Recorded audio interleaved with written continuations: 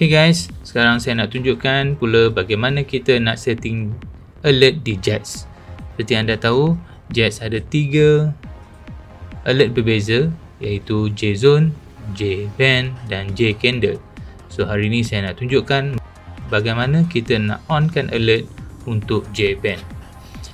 Anda perlu pergi ke chart, right click di chart dan pergi ke indicator list. Klik indicator list dia akan keluarkan dua file dekat sini JetsTZ dan JetsBC untuk JBand pergi ke JetsBC double klik JetsBC ini adalah semua setting untuk JetsBC pergi ke bawah scroll ke bawah sehingga kita jumpa